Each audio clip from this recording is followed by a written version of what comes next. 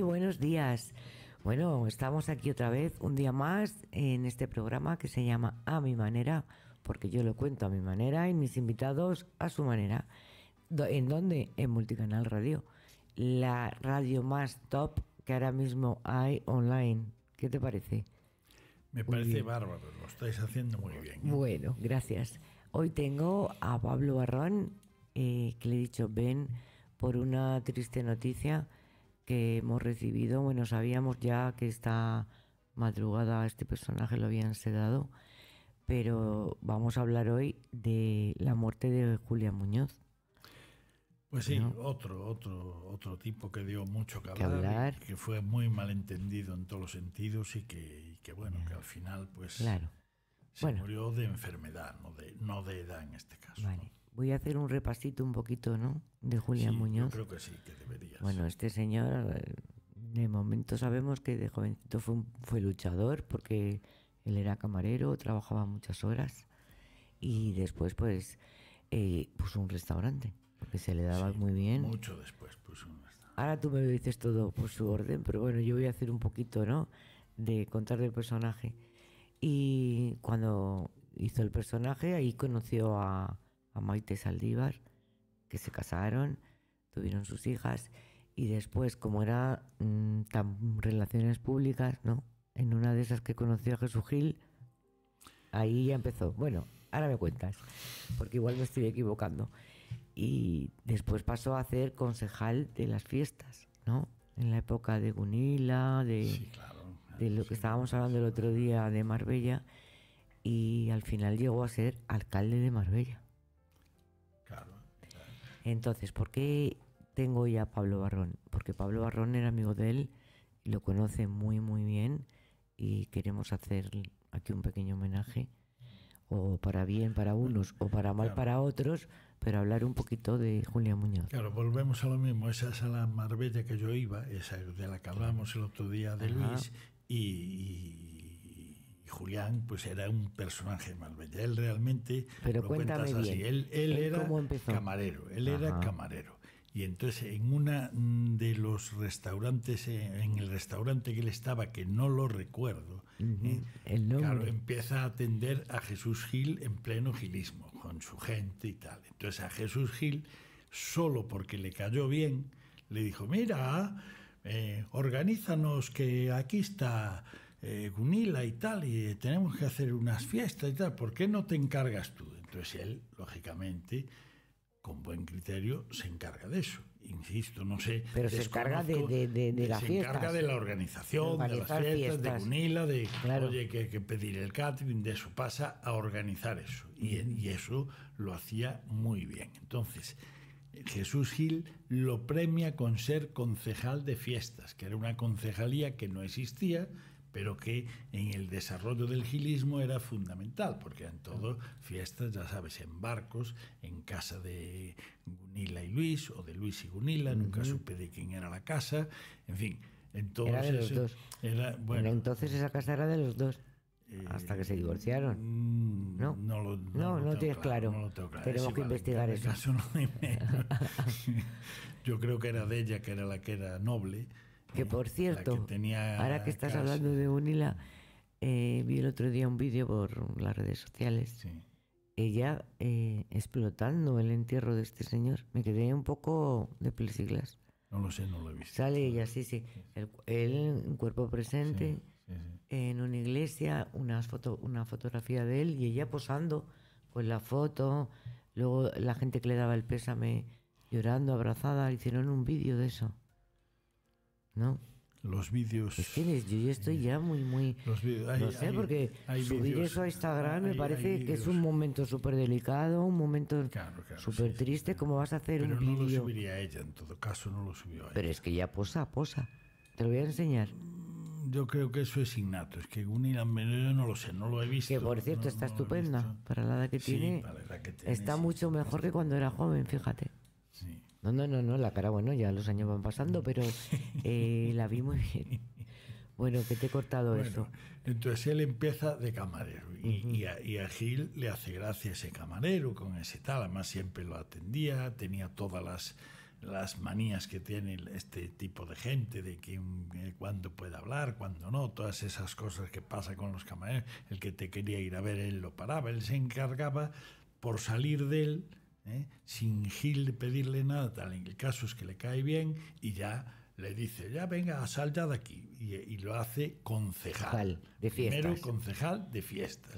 Y es el desarrollo de, un, de esa, toda esa legislatura, toda ya él era el encargado de fiestas, es decir, de todo el cotarro. Él tenía los sitios para hacerlas, entre el CUS financiero, la casa de Gunila y dos, eh, a veces algunas en, en la casa del propio Jesús, y, él era el encargado de todo el que tenía la lista de protocolo, la clave de acceso, que no sé si sabes qué es cómo se entra en los sitios VIPs, eso lo inventó Gil, yo por lo menos lo vi en el gilismo por primera vez, ahora lo hace todo el mundo, todo eso.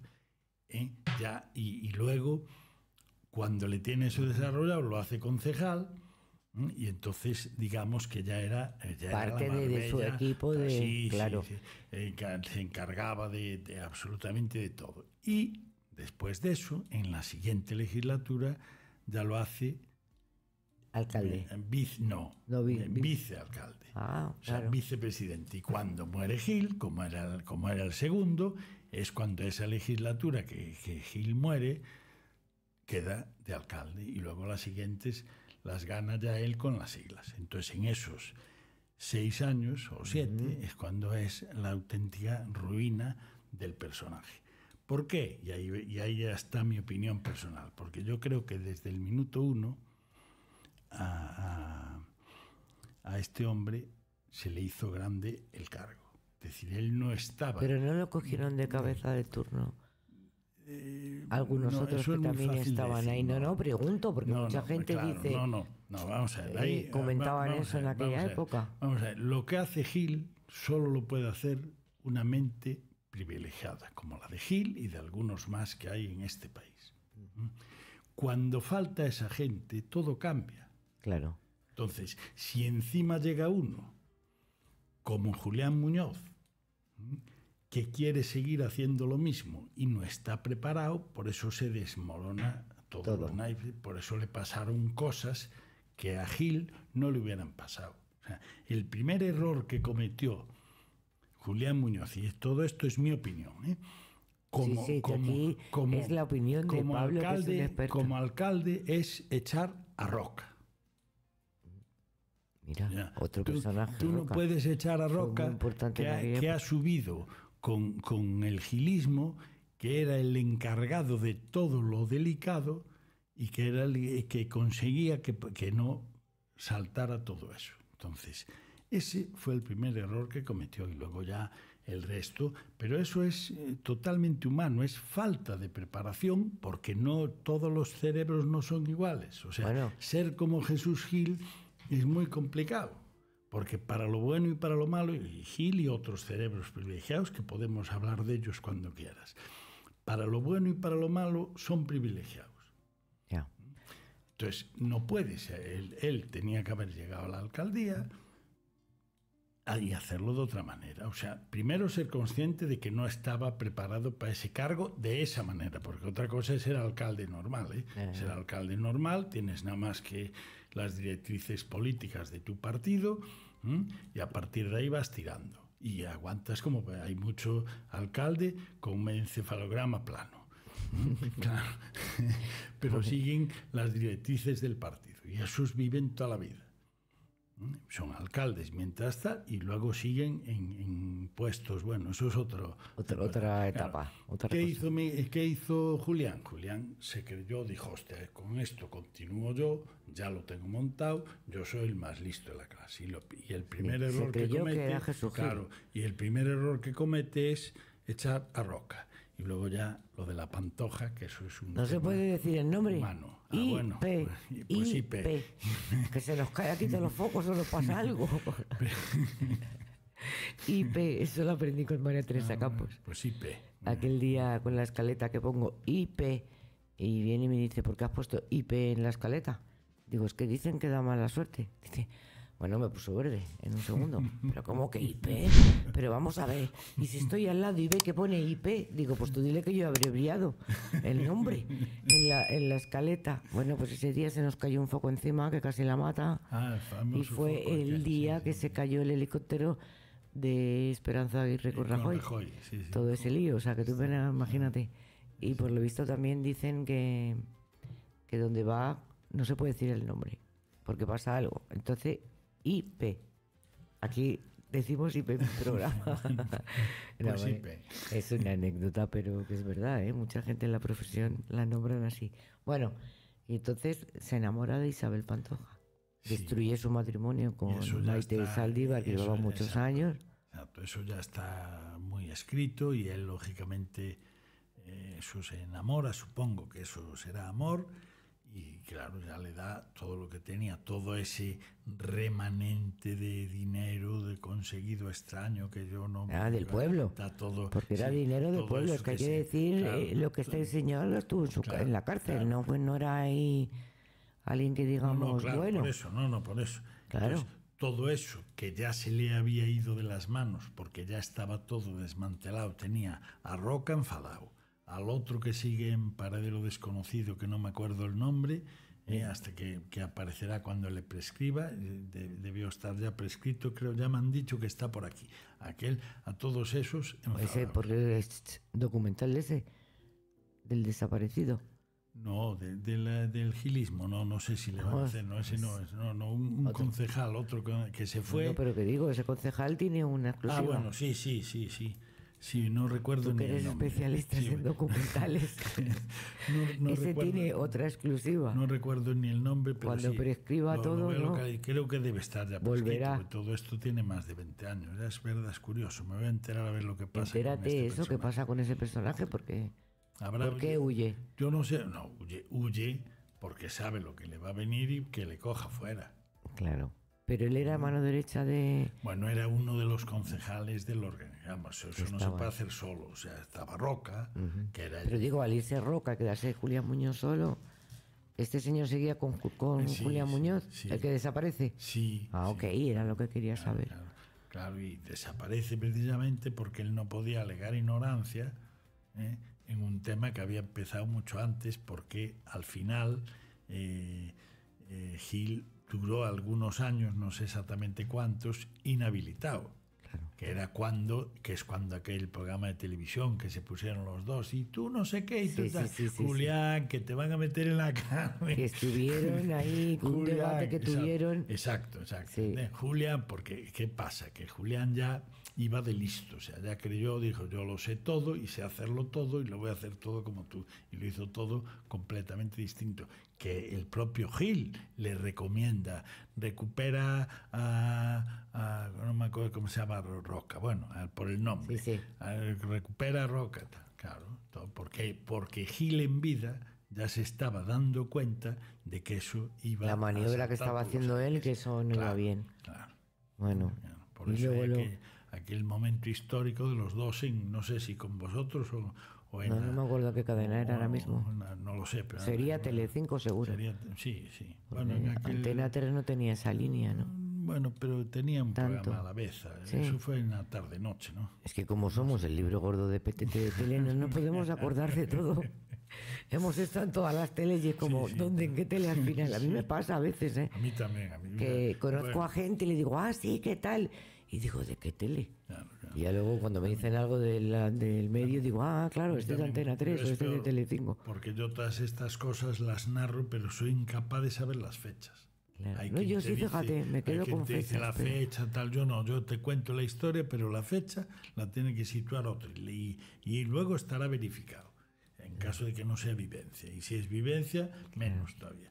O sea, yo todo esto, yo no sé en qué año murió Gil, no sé en qué año lo inhabilitaron, todo esto no lo sé, no, lo desconozco, no sé en el año que, que le dice Jesús Gil a Julián Muñoz, oye, vente conmigo, organiza las, eh, las fiestas en Gunil, hombre, que no hay nadie de tal, venga, así te cae un dinerito más. Para que veas, ¿eh? El destino de las personas. Él siendo un camarero y el otro le dice, empieza. Bueno, y ahí ya se enamora de IP. Claro, ya se enamora de IP y ya pasa todo aquello. El error de Maite hablando de bolsas de basura. Claro, eso fue lo que lo mató. Eso fue lo que lo mató a él. Porque ella, yo creo que en ese momento, claro, una mujer herida que el marido se la ha ido con otra. de vengar, ¿no? Saldívar tampoco tuvo claro de esas consecuencias si no, si no, no lo hubiera dicho. O sea, Saldívar no sabía que si tú hablas de eso y está en plena, en plena instrucción, automáticamente te van a preguntar, por eso ella entró también. Claro, en la cárcel. O sea, su, propia frase de mujer despechada le hizo a ella entrar en la cárcel. Madre mía. Y, luego el propio eh, mm, Julián, el propio Julián, como las tenía, como el, el, dinero él no se lo quedaba, si se lo gastaba en ellas. Ya. Bueno, no sabemos, no sabemos, no sabemos. Yo estoy esperando a las memorias que van a salir ahora. Está, está instruido, está ¿eh? instruido, lo que te digo yo está sí, instruido. ¿no? Claro. Si no, Zaldívar no va a la cárcel. Ya, o sea, no, no, pero Zaldívar va a la cárcel, porque claro, si ese dinero, tú estás aún casada y ves ese dinero, ¿dónde estaba ese dinero? o sea, es normal que te cojan y te digan, oiga, exactamente. ¿usted cómo no va a saber su marido qué trae a casa, de dónde viene ese dinero? Efectivamente, por, eso, por eso te digo que al final él implicó a mucha gente y toda esa gente fue entrando porque no, posiblemente solo supieran la parte que se han gastado, que es lo que ahora puede que salga en las memorias pero eh, puede que ellas tampoco ninguna conocía ni el entramado ni de dónde salía. ¿Tú crees? Esa es la parte, sí, yo, yo, yo creo. Yo creo que ahí llegaban las bolsas de basura. Y ellas decían. Se lo, gastaban en lo que tal. Y dirían, qué bien, juju, me compran casa, tengo de aquí de todo. Claro, claro. ¿No? Sí, sí. El famoso apartamento de, de Guadalmina. Ese sí, de IP. Ese de IP. se lo compró, ¿no? Claro. Y luego la, la, mi gitana. Mi gitana también. Que era un chalet, también se lo compró a ella. También, también. Claro, imagínate. Ah. Porque ¿cuánto, ¿cuánto era en su día un sueldo de un alcalde? Pues no lo pues sé. normalito, ¿no? Sí, sería tirando un poco por lo alto porque era más bella, ¿no? Igual tendrían ahí bonificaciones de cosas. Y nada. Bueno, y después entra IP en la cárcel. Entré. Cuando entran, cuando eh, cuando a él lo detienen y también a ella, él seguía enamorado de, de IP. Claro, estaban en, la misma casa los dos. Por eso. Y ya de repente. Van a por él, pero van a su casa. Bueno, van a mi gitana. Claro. Primero va él y luego, va ella. después va ella. Y luego ella va a verlo una vez solamente a la cárcel y se acabó. Claro, fue a, a, ver qué pasaba y lo que tenía que hacer. Y, ahí ya. Cómo se libraba ella. Y ahí es cuando él no entiende esa visita, entre otras cosas, porque no había estrategia, porque esas visitas se hacen con estrategia común, como hacen todos. Ella no, ella fue a, librar su culo directamente y a tal. Entonces ahí es donde hubo ya el desacuerdo absoluto, es donde él ya se le cae la máscara y se da cuenta que no que va a estar solo. claro, que, a las buenas todo el mundo está ahí, pero a las malas... Tiene una menos que defender y si él sigue defendiendo a Maite, porque Maite fuera de ese, de ese error... De decir la bolsa de basura Claro, tampoco perjudicó en nada más ni la instrucción, ni dijo nada, ni comentó absolutamente nada. Entonces... Y, de hecho, y de hecho va a la cárcel y sigue sin hablar. Nada de si sabía algo más o menos o lo que sea. Entonces todo ese dinero que robó, aparte de invertirlo en esas casas y en esas mujeres, eh, ¿habrá algún dinero por algún lado escondido? claro, si no, lo, si no lo gastó, alguien lo tendrá esas cosas siempre las tiene alguien. Por eso te iba a decir, algo hay ahí. Claro, claro. Entonces, algo, algo yo, a lo mejor lo gastó, ¿eh? yo eso sí que no lo sé, a lo mejor lo gastó. Yo entiendo que alguna bolsa de basura por ahí andará. Claro. ¿Quién lo sabe? Tan tonto, tan tonto. ¿Quién lo sabe? No creo Posiblemente ahora Maite sea la que sepa eso, posiblemente. Porque volvió a él, que ahora sonó, es quien estuvo Sí, ha habido mucha polémica porque dice que volvió a casarse con él, porque eso dicen. Sí, bueno, ya, mantuvo el novio. Y todo es para. El, no, ya sigue con su novio. Sí, por eso. Claro. Mantuvo el novio casándose, el novio espera pacientemente y tal. Entonces yo entiendo. Unos decían que era para cobrar la pensión de Bueno, de... esa le va a corresponder igualmente. Pero bueno, pero que decían eso. Otros decían que no, que ella lo ha hecho porque siempre ha querido a este señor. Supongo que será una Era lo que quería, pero yo creo que todo ha sido interés total, puro y duro. Sí, interés sí, pero... Porque le diría, después que te metió en este marrón, por lo menos después de muerto, ¿no? Ayudarte un poco, digo yo, ¿eh? Señores y señores y todos los que nos están viendo, todo esto es suposiciones. Yo creo que no sabemos ni hemos estado ahí. Yo creo que el mismo, dentro de las dos, dice, ¿quién se lo merece más? Pues Maite. Entonces Maite va a ser la única beneficiada de lo que haya. Sea secreto o público, la única, porque es con la que tienen las hijas, es la que supo recuperar. ¿Que lo haría por interés? Pues seguro. Yo lo hubiera hecho igual, ¿eh? eh claro, seguro. Y ya dices, oye, mira, ya por lo menos ahora sí ha escrito sus memorias, que todo el mundo va a comprar ese libro, no sé cómo harán o lo que harán con ello, pues por pues esas memorias. Pues supongo que, que será lo más vendido sin ninguna duda. Y todos esos derechos irán a Maite Zaldívar. o a las hijas. O a, los nietos, porque tampoco sabemos. Ya, bueno. Todo el mundo dice Maite, Maite, Maite, y a, lo mejor él se lo deja a las hijas. Bueno, no. No, no crees, no. bueno, ¿y tú dónde lo conociste? Pues yo en esa época, cuando era camarero, que yo estaba por el gilismo y lo, empecé a tratar pues como se, trata a alguien que tal, y luego pues bueno, con los años pues fuimos teniendo relativa relación, tampoco somos intimísimos. Pero así conocidos, ¿no? Sí, claro, conocidos, sí, sí. ¿Y qué, ¿Y qué visión tenía él de Marbella? ¿Hacerla mucho mejor que Jesús Gil o no? ¿Qué te decía? No, él, Cuando te reunías, no tenía, él no ¿de qué hablabais? Yo reunido nunca estuve, yo siempre con él. Eran fiestas. Estuve, bueno, fiestas. Pero que tú te las has pasado fenomenal, ¿eh, Pablo? Pablo, vamos a ver, este señor, eh, vamos, has sido aquí tú peor que Pocholo, por lo que estoy viendo, Pocholo, por lo que me estás contando. Uy, Pocholo, Pocholo juega es otra mejor. liga. Pocholo. Ya, ya, hablamos el otro día, es otra cosa. Que, o sea, de las fiestas pero no hablaba nada políticamente. Si yo estaba vinculado a ese grupo de gente y él estaba, pues lógicamente vas cogiendo relación y luego pues por afinidad y tal, pues no tiene, en fin, no, no esa es mi, mi amistad, pero claro, fui siguiendo todas las cosas, tengo conversaciones de Gil privadas que no pienso tal que con Gil sí que hablaba más. Porque pero vamos a ver, Pablo.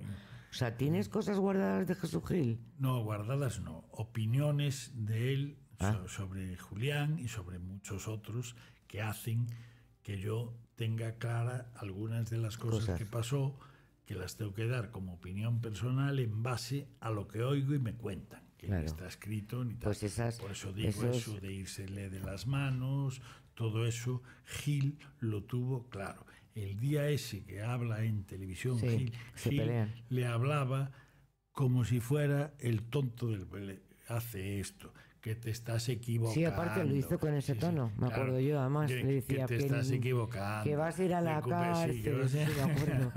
y, le y, yo me voy a quedar fuera. ¿Verdad? Claro, ¿entiendes? Porque en ese momento Gil tenía ¿Y por qué claro se enfrentó que eso con todo él? iba a saltar. ¿Por qué se enfrentaron?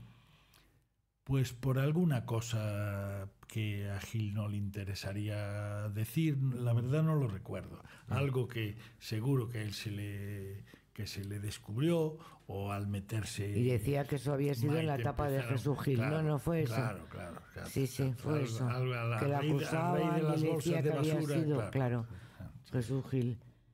Bueno entonces cómo te vas a quedar con qué recuerdo te quedas de bueno, pero como un tío que al final él se perjudicó él mismo, nadie, nadie lo perjudicó, es decir, él mismo se hizo. El daño que se hizo en los últimos años fue un daño que se lo hizo él. O sea, en ningún momento fue consciente de que él no era más que un simple camarero y llevar la gestión. Bueno, pero ahí espérate.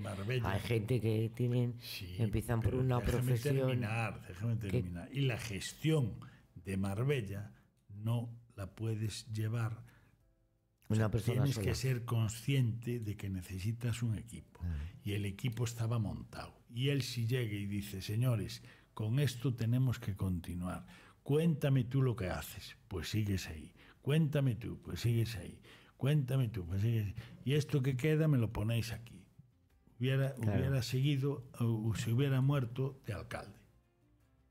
Y le hubiera pasado a lo mejor lo de Isabel, porque eso al final es amor. Pipe. bueno, Como te pase algo ahora, cuando salga por la puerta, no quiero saber absolutamente nada.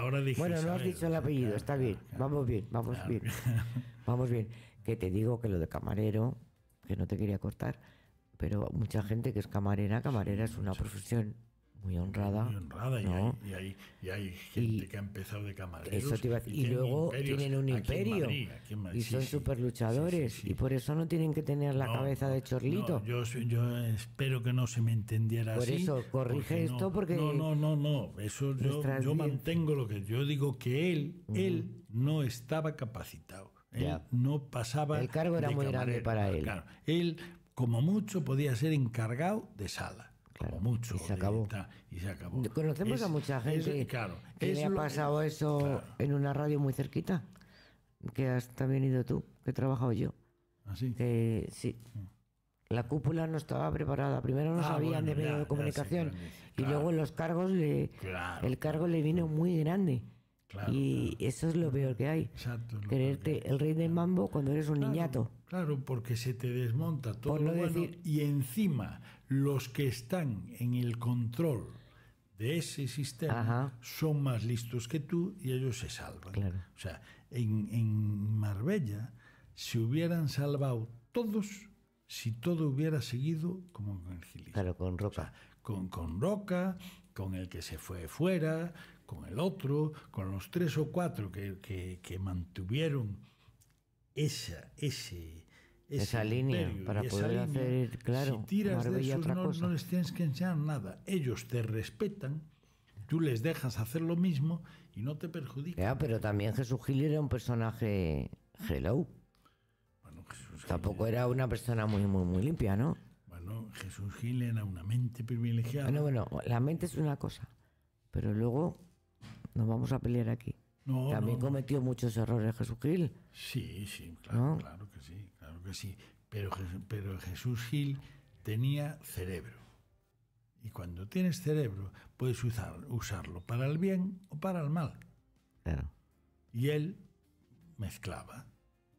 Él mezclaba, él, él quería su Marbella, lo consiguió, lo pararon los políticos, si no hubiera llegado más lejos, y cuando tenía el sueño final de esa mega isla, fíjate ya, si Marbella es elitista, él aún quería esa mega isla solo para los árabes y te decía directamente, no puedes ir, no tienes dinero tú para ir a esa isla. Y un tío que te dice eso, pues tampoco da. Pero mira lo que hizo con el ruido, que me parece que ya te lo comenté aquí, y con los, y con los eh, ¿cómo se llama? Los que votan, o sea, los, los eh, censados, pobres mira lo que hizo. Habla con un pobre de Marbella. Uno que, que no trabaje nada. Que ahora no sé con el PP cómo estarán, pero claro, entonces esas ideas, y aparte de otras que hizo con el Atlético de Madrid, son ideas geniales, que él lógicamente las convierte en beneficio para él. O sea que... Que el dinero es del pueblo, claro, y el, y el de Madrid. Y el robo fue del pueblo. Claro al pueblo. Eso es lo que tenemos que tener siempre presente. Siempre, presente. no meternos aquí con, ¿sabes? ¿Qué hizo, qué no hizo en Madrid? No, señores, robaron. Pero, hay muchos más alcaldes que han hecho eso que no tienen tanta fama como Gil. Bueno, porque no han sido mediáticos, no han salido, ¿no? O, no se ha indagado en ellos. lo suficiente, ni los medios de comunicación no sacan a la luz todas las cosas. todo, claro, una mezcla de todo. Entonces es que todo siempre siempre hay alguna corrupción por algún lado. Si no fuera por Julián Muñoz, hubiera quedado todo en nada, como han quedado otras ciudades. Bueno. ¿Eh? Consiguió salvarlo de uno de sus hijos, que no te voy a decir cuál, que cometió otra torpeza de esas, de decir, ostras, pero ¿cómo puede pasar eso? O sea, Gil era otra cosa. El día que palma Gil, se acaba, todo. Se acaba Marbella. Bueno, ahora está muy bien Marbella. y está muy bien Málaga. Precioso, y es la cuna ahora de, culturalmente yo estuve en están haciendo muchísimas cosas maravillosas. Sí, bueno, sí, ahora gobierna el PP en Marbella, que es mucho mejor que cualquier otra opción para, para, regenerar. Aquí no estoy hablando de política, estoy hablando de sistema de regeneración de partidos. ¿eh? ¿Lo hace mejor el PP? Claro, claro. Bueno, como se nota, ¿eh? Como se nota, ¿Cómo se nota tu inclinación política? No, yo no voto al PP, presidente. ¿No? no si ah, bueno, pero qué bien hablas. No, no, yo no voto al PP. Yo, yo en todas las elecciones voto al programa y a las personas. Qué bien, es como había que hacer. Que no, a veces no es el PP, ¿eh? ojo. Ya. A veces. Evidentemente, a Podemos no lo votaré nunca bueno, o pues hoy vienes medio morado. Medio morado. O sea, no tienes que traer, igual que mi técnico, pero vamos a ver. ¿Cómo va a venir aquí, aquí, a mi manera, vestidos de morado? Esto no tiene que nada, ¿eh? Mañana cambiar el color, ¿eh? Y además habéis coincidido los dos de morado. No me gusta el morado, a mí me encantaba el morado y me recordaba a Cristo de Medinaceli, que yo soy muy devota. Y es un color que, oye, ahora en otoño queda súper bonito. Pero le he cogido mucha manía al morado. A mí me dice, y me queda muy bien, ¿eh? que sepas. Pero... A mí, me dice la personal shopper lo que me tengo que poner. Y, ya está, ¿no? Pues dile a tu chica, me ha dicho Ali que esto no, esto no me pega nada, este morado. A un Pablito está un poco lila clarito, no tan morado.